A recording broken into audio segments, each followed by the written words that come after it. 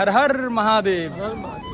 अभी हम लोग हैं कामाख्या स्टेशन पे तो अभी मैं, सुभाष और हमारे साथ कम से कम 30 से 40 लोग जो है, अभी हम लोग जाने वाले हैं आपका सुल्तानगंज। ब्रह्मपुत्रा ट्रेन जो है यहाँ से दो बज के पैंतीस मिनट पे है तो वही ट्रेन पकड़ के अभी हम लोग जाएँगे सुल्तानगंज। वहाँ जाने के बाद जो है वहाँ से जल उठाना होगा। उसके बाद जो है हम लोग अप्रोक्स तीन चार दिन का हम लोगों ने टाइम लिया है जो उतना 120 किलोमीटर जो है हम लोग सफ़र कंप्लीट करके जो है बाबा को जल डालेंगे। तो इस ब्लॉग के साथ बने रहें। हर हर महादेव! हर हर महादेव! तो ट्रेन का इंतज़ार कर रहे थे। ट्रेन कम से कम जो है आपका एक से डेढ़ घंटा जो है लेट था।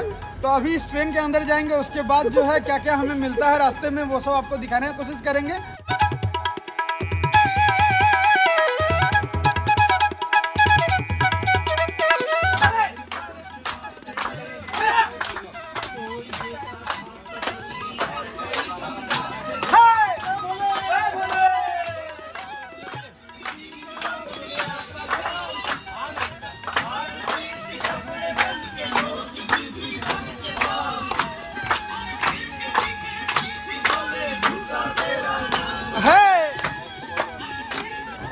अभी हम पहुँचे हैं बगाई गाँव में तो यहाँ पर जो है थोड़ा देर का स्टॉपेज है तो यहाँ अभी जो है खाना पीना जो भी है वो सब अभी कर लेंगे। तो अभी रात को जो है सोना है, क्योंकि सुबह में जो है हमें सुल्तानगंज उतरना है। तो पहले सुल्तानगंज जब उतरते हैं तो उसके बाद जो है, उसके बाद क्या क्या करते हैं वो आपको दिखाने की कोशिश करेंगे। तो फाइनली जो है हम लोग सुल्तानगंज रेलवे स्टेशन जो वहाँ पे पहुँच चुके हैं। तीन चार घंटा ट्रेन लेट था, लेकिन स्टेशन पे जो है आप देखिए कितने अच्छे तरीके से जो है कावड़ियों का जो है, कितने अच्छे तरीके से पंडाल वगैरह बना के जो है ध्यान रखने का कोशिश किया गया है। ये बहुत अच्छा लगा देख के और पीछे की तरफ़ भी है। तो एक बार ज़ोर से बोला जाए, हर हर महादेव, हर हर महादेव।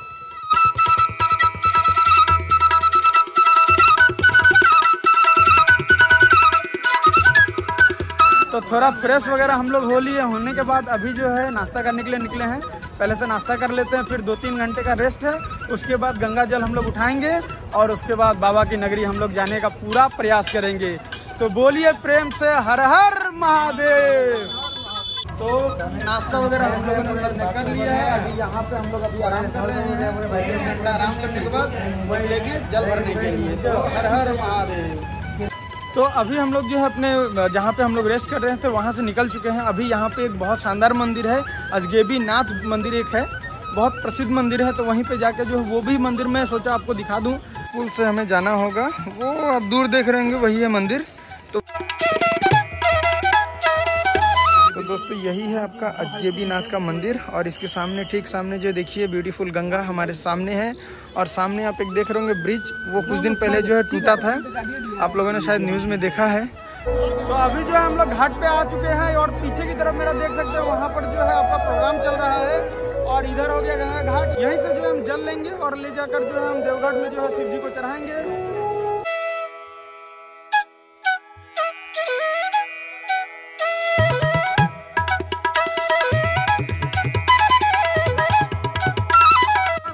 चुका है और अभी हम लोग जलवल भर लिए हैं। इसके बाद हम लोग डायरेक्ट निकलेंगे देवघर के लिए।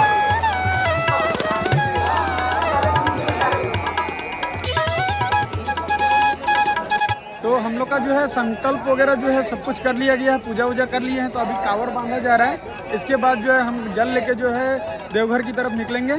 तो गंगा जल लेके जो है हम लोग सब जो है निकल चुके हैं। 120 किलोमीटर का अभी पदयात्रा होने वाला है, जो पैदल ही हम लोग को चलना पड़ेगा। तो रास्ते में क्या क्या देखने मिलता है, इस ब्लॉग के माध्यम से आपको दिखाने की कोशिश करेंगे। तो ज़ोर से एक बार बोलिए, हर हर महादेव।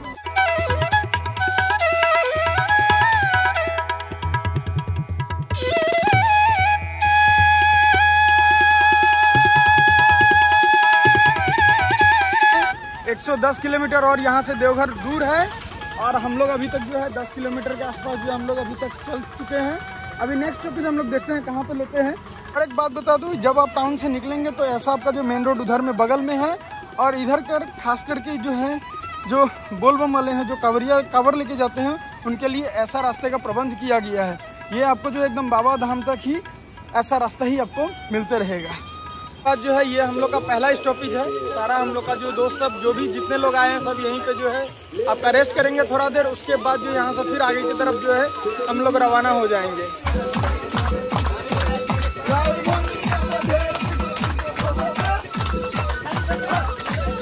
अन्ना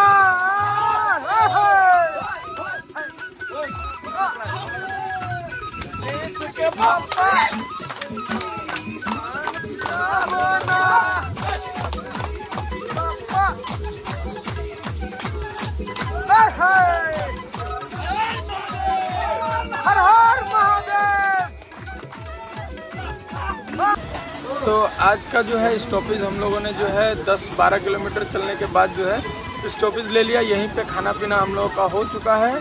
और अभी ये अब मैं आपको दिखाता हूँ, ऐसे करके जो हम लोग जितने भी लोग हैं, ऐसे करके लाइन से सो रहे हैं। इधर में जो है आपका बिस्तर का जो है बीस रुपये करके चार्ज लिया है सोने का। चलिए, कोई बात नहीं। तो आज के लिए गुड नाइट, मिलते हैं कल। हर हर महादेव। आज हमारा जो है चलने का आज दूसरा दिन है। सुबह सुबह उठे हैं। तब इधर देखिए, इधर नहाने का प्रबंध किया गया है महादेव हर हर महादेव। और इधर इधर में दतवन लिए हैं।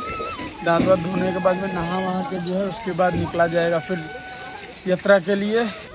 तो सुबह सुबह फ्रेश होके जो है, सुबह छः बजे हम लोग निकल चुके हैं पैदल यात्रा के लिए। अभी हम लोगों ने मुश्किल से मुश्किल तीन से चार किलोमीटर हम लोगों ने जो है, अभी तक कवर अप किया है।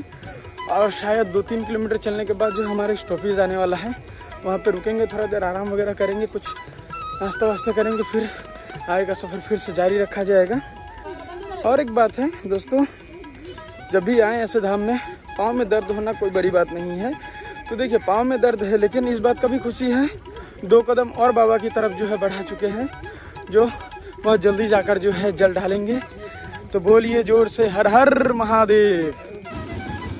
कहावत में बोला है, दानी बम दान करे और बाबा भोलेनाथ बेड़ा पार कर।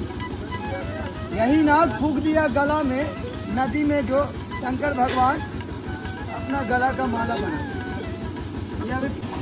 तो आराम करने के लिए बैठे हैं तो हमारे सपेरे भैया मिले हैं और इधर में देखिए, भाई ने जो है नाग लिया है।